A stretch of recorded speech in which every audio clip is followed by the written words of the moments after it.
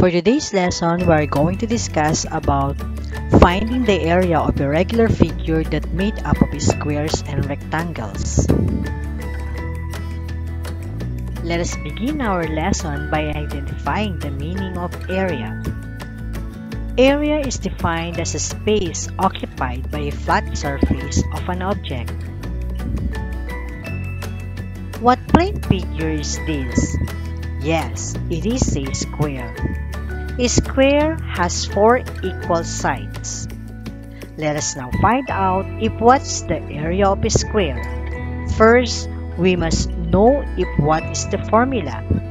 So the formula in getting the area of a square is A equal S times S or area is equal to side times side. The first side that we have is the 5 centimeter and the second side that we have is 5 centimeter. 5 centimeter multiplied 5 centimeter is equal to 25 centimeter squared or 25 squared centimeter. So this is the total area of the square. And the second plane figure that we have is a rectangle. How can we compute the area of a rectangle? First, we're going to use the formula A equal L times W or area is equal to length times width.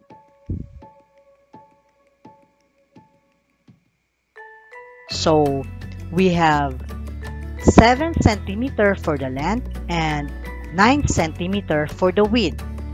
7 centimeter multiplied to 9 centimeter is equal to 63 centimeter squared or 63 squared centimeter.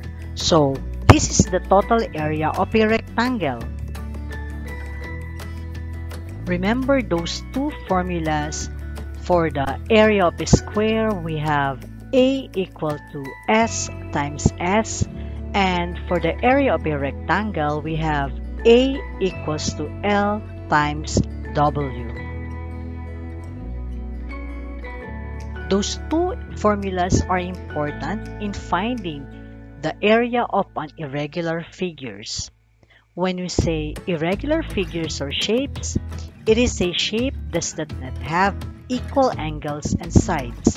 It is made up of two or more geometric shapes. This figure is an example of a irregular figures or simply to say that irregular figures it is made up of a square and rectangles. This is also an example of an irregular figure because it is made up of squares and rectangle. Let us get if what is the total area of this irregular figure. The first thing that we should do is to name the first square as A and the next square as C and let us name the rectangle as B. Let us first find out if what is the area of square A. So we are going to use the formula A equal S times S or side times side. So we have 6 meter times 6 meter is equal to 36 squared meter. So this is the area of square A. And to get the area of rectangle B, we will use the formula A equal L times W or length times width.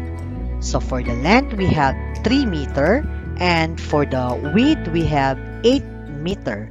3 meter times 8 meter is equal to 24 m squared or 24 squared meter as the area of B. And to get the area of C, again, we will use the same formula that we used to the area of A.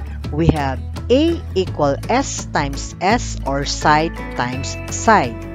We have also 6 meter times 6 meter is equal to 36 m squared as the area of C.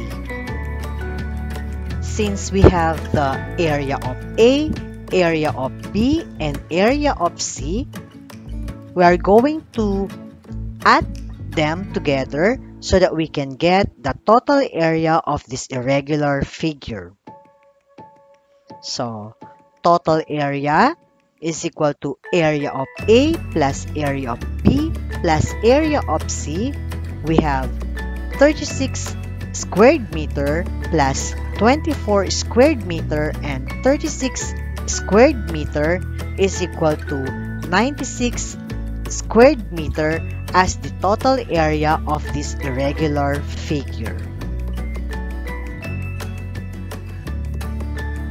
This is also an example of an irregular figure because it is made up of square and rectangle. We are going to find out if what is the total area of this irregular figure. Let us name first the square as B and let us name rectangle as A. To find out if what is the area of B, we are going to use the formula A equal S times S or side times side. We have 3 centimeter times 3 centimeter is equal to 9 squared centimeter as the total area of B. The next thing that we should do is to find out if what's the area of rectangle A.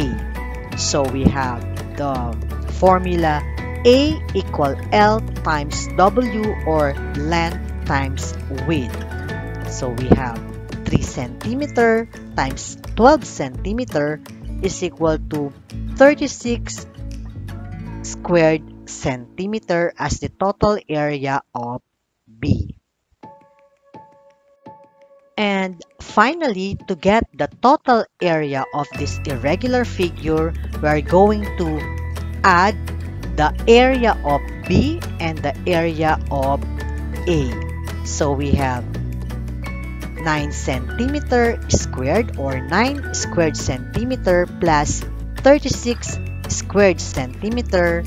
We have 45 squared centimeter as the total area of this irregular figure.